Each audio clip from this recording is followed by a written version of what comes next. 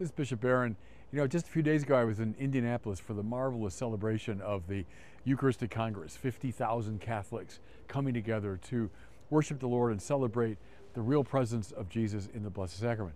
So I come from that experience and I come home and, you know, I love the Olympics. So I turn on the opening ceremonies of the Olympics. What do I see now? And it's in Paris, France, a city I love. I spent three years as a doctoral student there.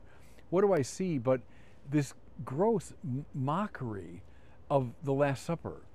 and I won't describe it any further. Just go online. It's it's gone viral. You can see it. But this France felt evidently, as it's trying to put its best cultural foot forward, the right thing to do is to mock this very central moment in Christianity where Jesus, at his Last Supper, gives his body and blood in anticipation of the cross. And so it's presented, though, as this gross, sort of flippant mockery. Uh, France, which used to be called the eldest daughter of the church, Paris that gave us um, Thomas Aquinas taught there, and Vincent de Paul was there, King Louis IX, St. Louis, France that sent Catholic missionaries all over the world.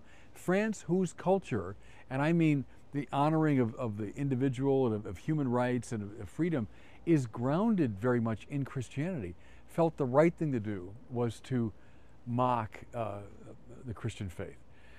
You know, a question I would pose, we all know the answer to it. Um, would they ever have dared mock Islam in a similar way?